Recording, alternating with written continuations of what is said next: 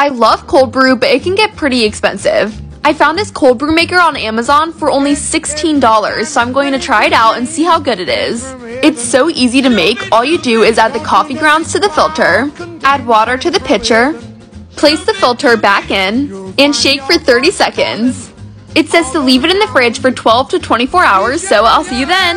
Time to assemble my iced coffee. I'm going to be fancy today and add cold foam to the top. If you haven't gotten a milk frother yet, you should definitely get one. While I was making my cold foam, I got a surprise visit from Sean. Today, we're making coffee. What is this? This is fun. I had a feeling it would overflow. This might be one of the best cold brews I've ever had. I'm saving the rest for later because the cold brew can stay fresh for up to two weeks. This is going to save me so much money.